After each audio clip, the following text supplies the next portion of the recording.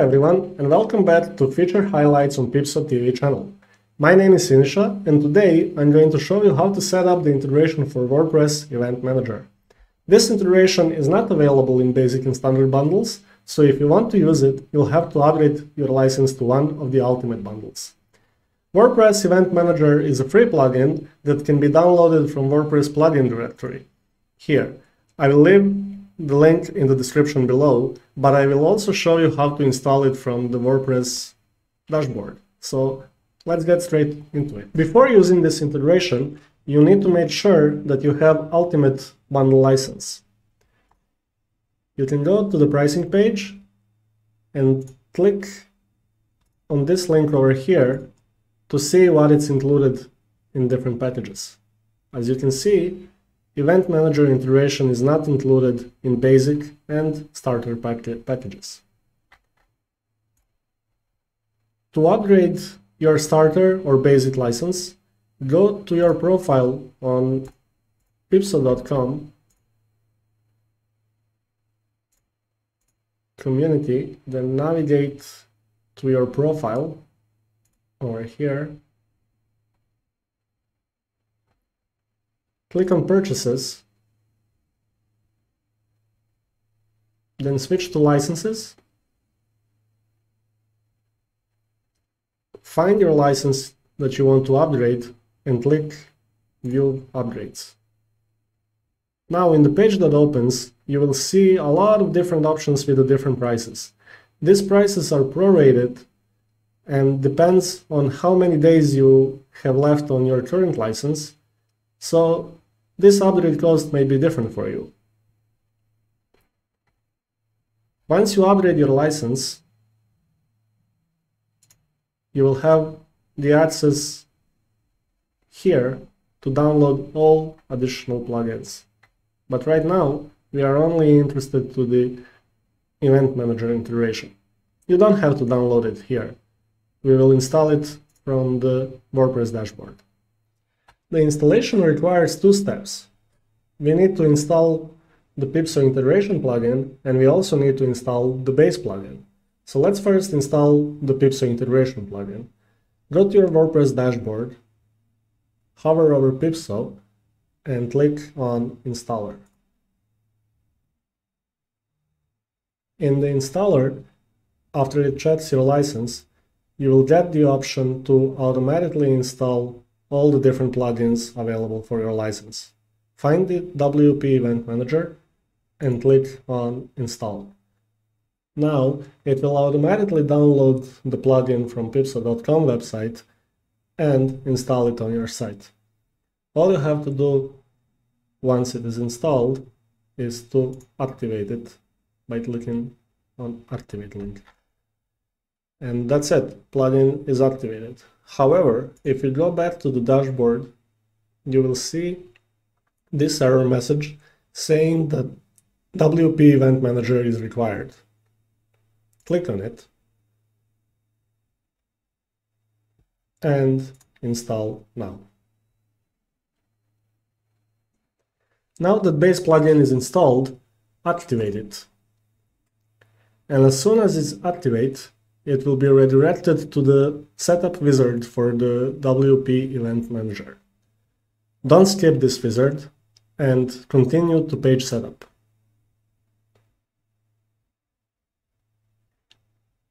In this page, it will create the pages for the WP Event Manager that are needed for the proper operation of this plugin. Click on Create Selected Pages and then you can go to settings.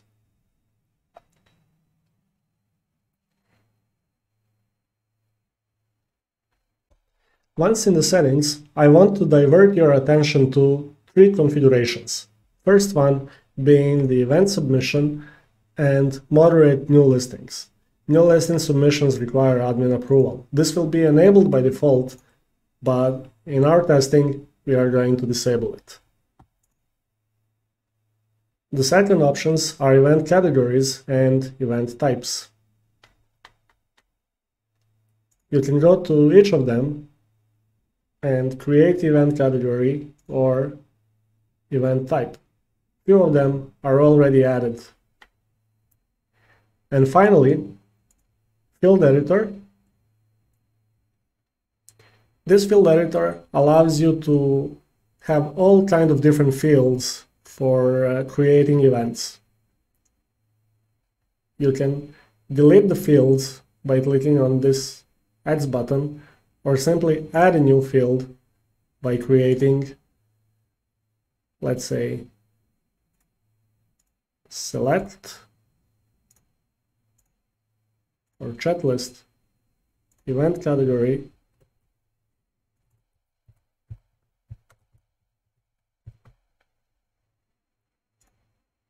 save changes and it will allow me to list all the categories that we have here and bring it all the way to the top. Event title should be on the top. Okay, save changes. And now go to the PeepSo configuration. Switch to the WP Event Manager tab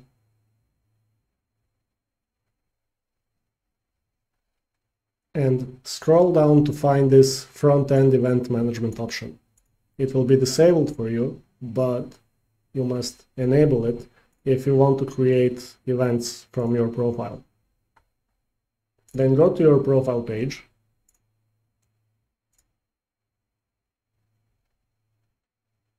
Click on events.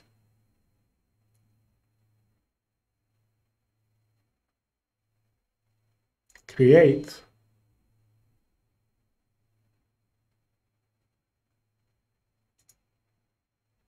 and this will allow you to create new event. Okay.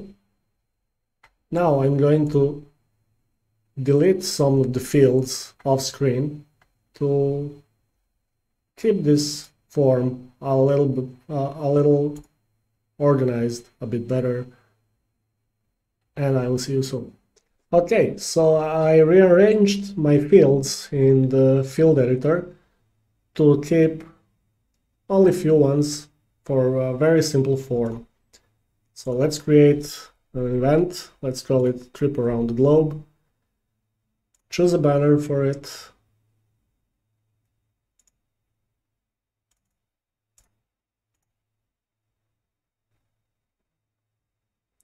Okay, and add some description.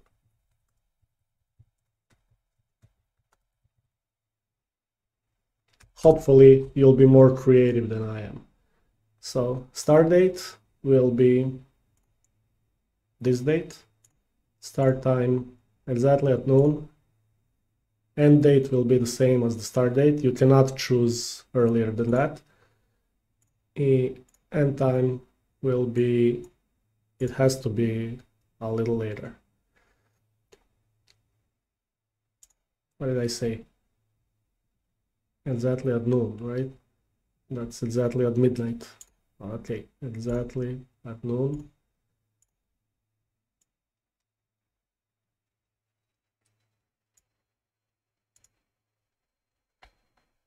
Here you can add the organizer and the venues if it's applied. Click on the preview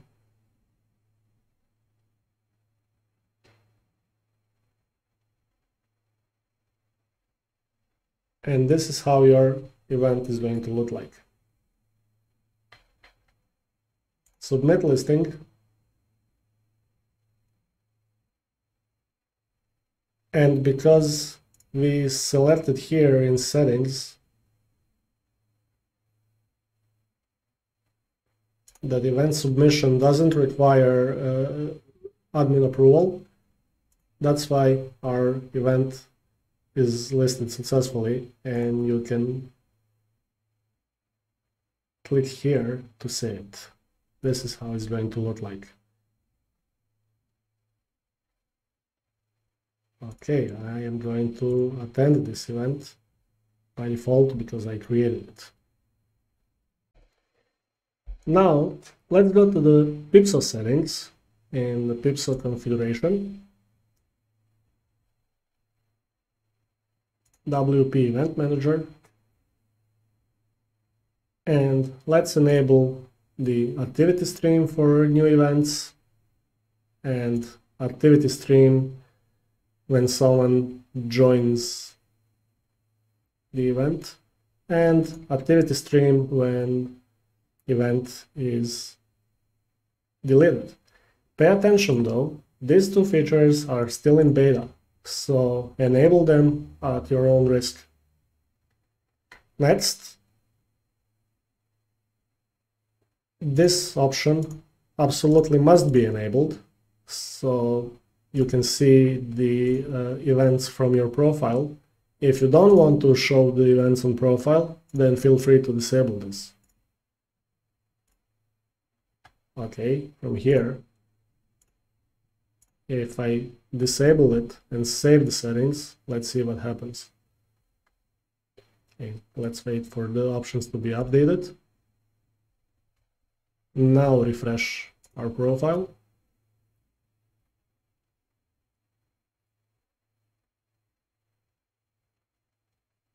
And as you can see, there is no events. I cannot see the user events from, from the profile.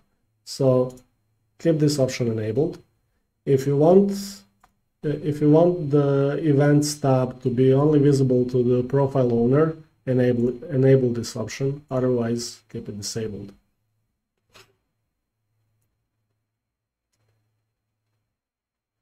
Showing the filters on display options.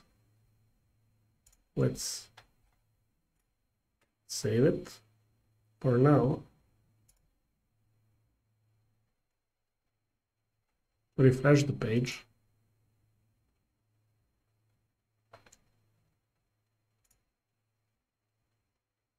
Go to events.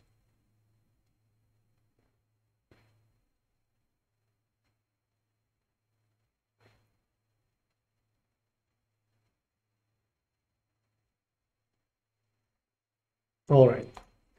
So uh, displaying options uh, they will be sorted by the, the event start. And I want to show filters as well, to show categories in event types. I will rather keep this disabled on my on my site because I disabled the event uh, event categories in, and event types in field editor so it does not apply to me but if you want to you can enable this and it will show like this save the options, refresh the page here, and here you will have a lot of different filters. You can filter by keywords, location, data range, category, event type, or just simply all events created by me and a couple of more options.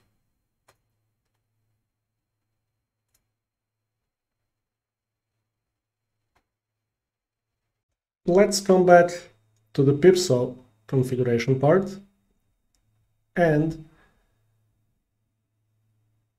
enable uh, RSVP. Yes, if you want to uh, your if you want to allow your users to uh, to uh, say that they want to join or participate to, to, the event, this must be enabled. Attendees in a sidebar, it will show 10 attendees in a sidebar when you go to the to, to the event. Let's check where will that show up when you go to when you open the event.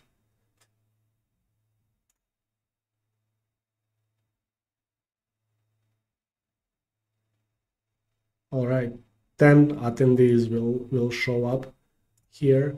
If I if I choose just five and say save then only five people will show up here.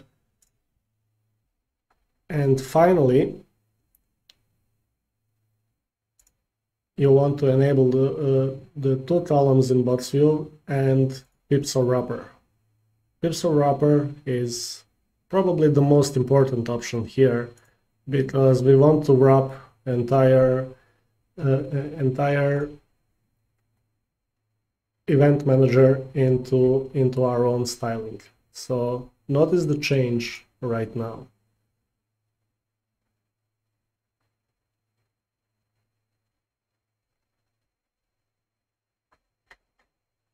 It's very subtle, right? And if you go to the profile,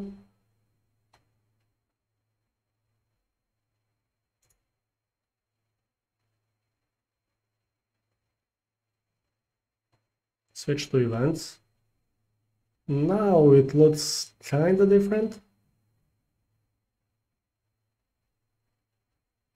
And much better, right? Remember how it's on this page. Let's open this in a new tab.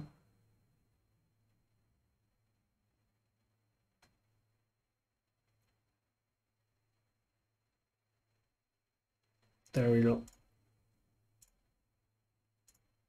If we disable the wrapper,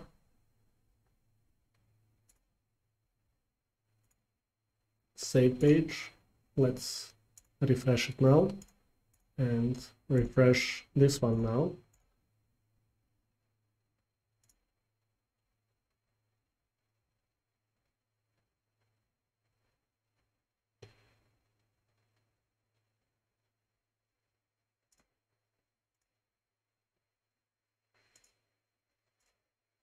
Now it uses the event manager styling, but if we bring it back, it will use PeepSo styling. So keep this enabled. And finally, in single event views, we can decide whether to show PeepSo outer info or not. This is totally up to you. It's a really uh, small box with the PeepSo username and the profile link will be shown in the sidebar of the single event view. That's purely cosmetic. So now that we have all of these options enabled, let's try to create a new event by going to our profile and then on create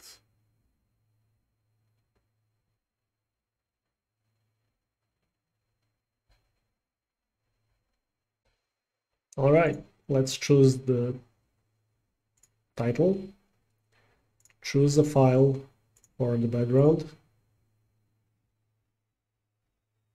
Oh, I think I chose the same one. Never mind, we'll still use that one. Description.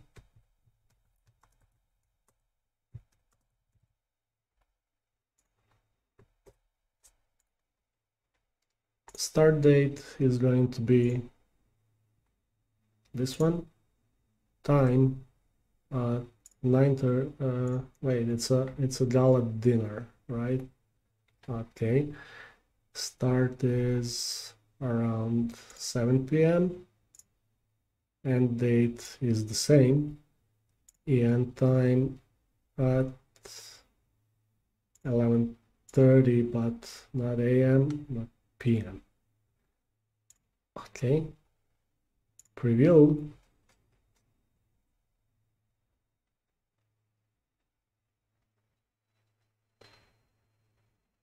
and submit listing.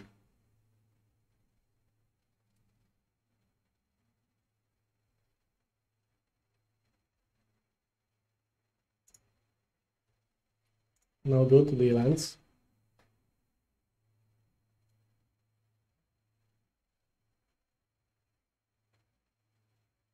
and you will see it already starts to look much better.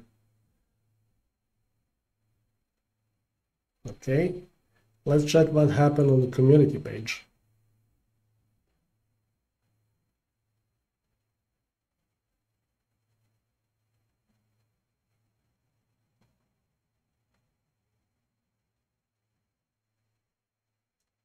Okay, Philip Jordan created an event and this is the event that has been created. when you click on it, you can see more info about it. Okay, here it is. Now I am logged, logged in on the site as a different user, and if I go to the event, I will get an option to choose whether I want to participate or attend or not attend to it. So as soon as this option becomes available, let's say that I am going to attend this event and that's it. If you reload the page, you will see yourself as an attendee, but most importantly, in the community page,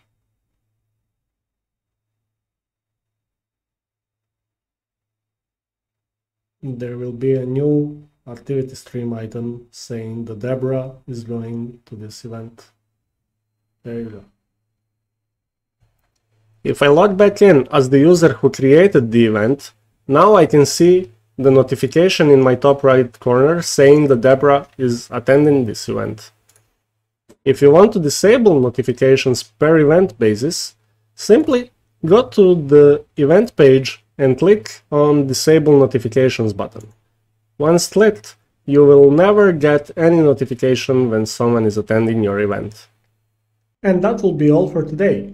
If you find this video useful, please like it and then subscribe and hit that bell icon so you'll be notified every time we post a new video. You can also follow us on social media. Links will be in the description below.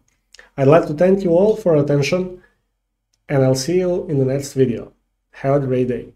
Bye.